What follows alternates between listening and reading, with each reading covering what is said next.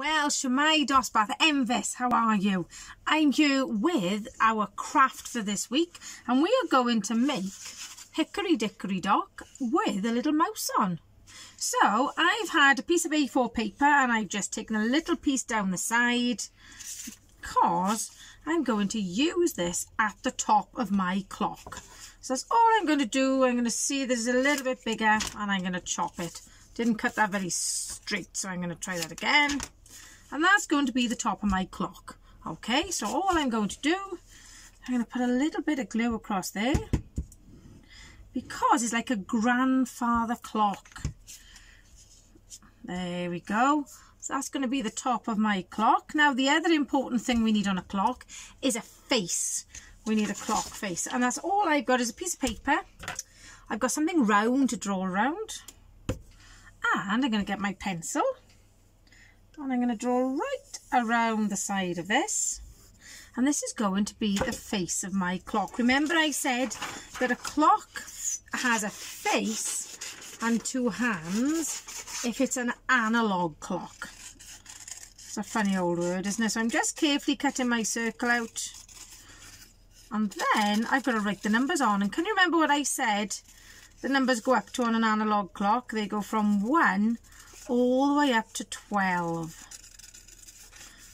and I'm going to show you a trick for trying to get the numbers in pretty much the right place.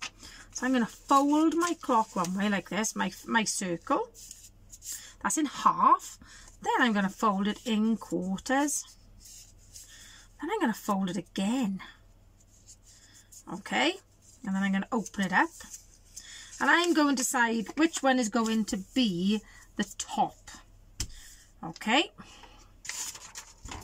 Now then there's my top. That's going to be number 12 and number one is going to be just this side of the line. This one's going to be oh Mr. is making a real mess with her pen tonight. Then I'm going to have number three. So it goes what 12 one two three.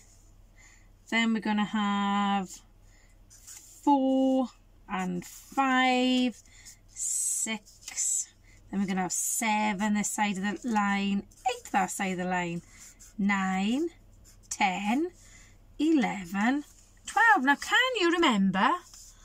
Oh look, I've got dots on my clock now. Never mind. Oh, Mrs. I'll put my clock down here. That's okay. Can you remember what I said? The clock struck one. That's it. Right. Take that off there. Mr. Richard got a very, very black pen. So that's my big hand. And I'm going to do a little hand then pointing at one. So that's what time is going to be when the mouse starts running down the clock. So I'm going to put my clock face now. That's going to go on my clock here because obviously I've made a big mess of it. But that's okay.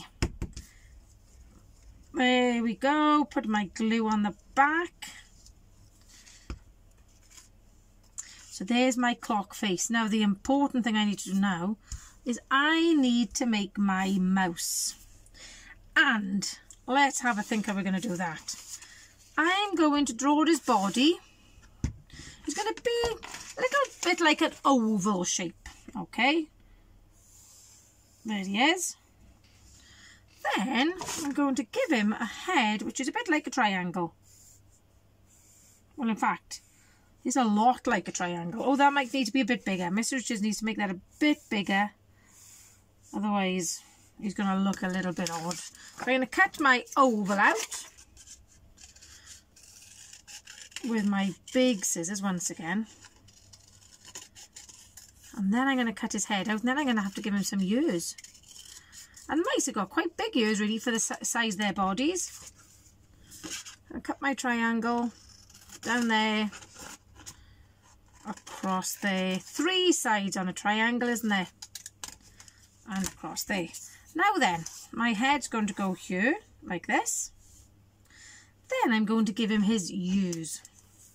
And his ears are going to be like two small circles. That's going to be his nose going down there. Oh, I've come off your screen. I need to give him some eyes. So I'm going to bring my piece of paper back in And I've already lost my pen on my very messy desk. So there's his eyes. Now, if you've got googly eyes, you could use those. But, there's my whiskers. There's my nose. You're going to have to have a tail as well, isn't he? Then I'm going to cut two small circles. Now, I think I've said before, Mrs. Richards is, doesn't, doesn't cut circles very well without something to draw around. But that's okay. Because they're all going to look different, aren't they? And you all did such a lovely job last week on the three blind mice that I thought we needed another craft for this week. I'm just going to try and straighten up his ears a little bit. There's, there he is, look. Okay, so I'm going to put a bit of glue there. And put that one on.